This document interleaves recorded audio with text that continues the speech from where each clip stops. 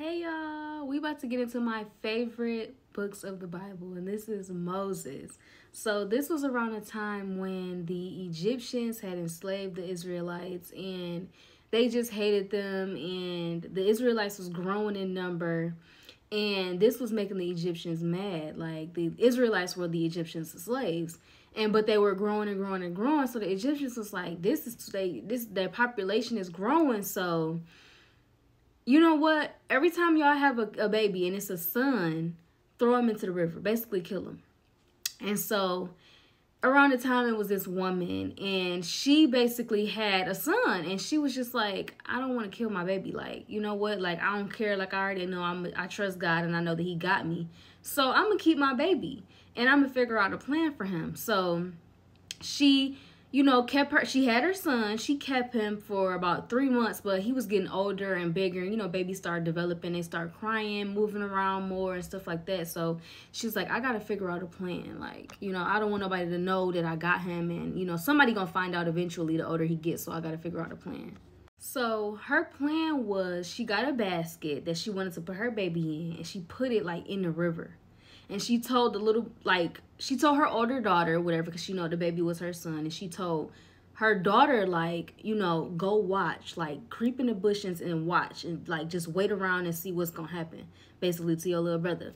So she waiting and then they see this egyptian lady and she was down there. I think she was trying to wash up or something but she seen the baby in the river and she said to one of her servants like look like go get the baby go get the baby Mind you, y'all, this is the Pharaoh's daughter.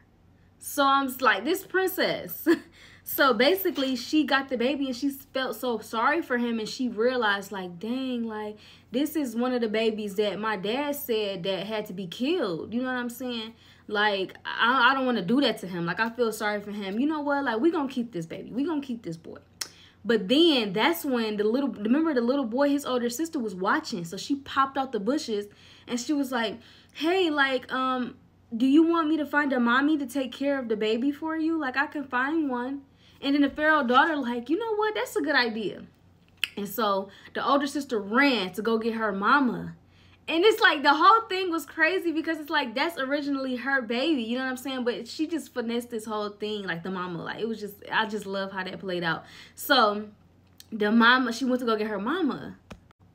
So basically, the plan was to take care of the baby, you know, while he's little, like little, and then they was gonna give him back to the Pharaoh's daughter when he got older, and the Pharaoh agreed to that. But the Pharaoh daughter was like, "I even pay you to take care of this baby." Like whole time she don't know, like the woman, this is the woman's son, you know what I'm saying? But the way they played it out, it was just so crazy, and it's just like now you getting paid to take care of your own son, but you know, after she did that, she did that and she gave her son back to the Pharaoh's daughter. And she was sad, you know, I'm like, dang, like, you know, I had my baby, I was able to keep my baby, but I got to give him up. So, you know, any mother would be sad, like, I don't want to give up my baby. But she was realizing, like, you know what, like, I'm appreciative too because God allowed him to live and God allowed, you know, like, everybody else have to, you know, do go do away with their kids, but you know, God has a plan for me and my son, and He allowed my son to live. And she just was like sad and happy at the same time.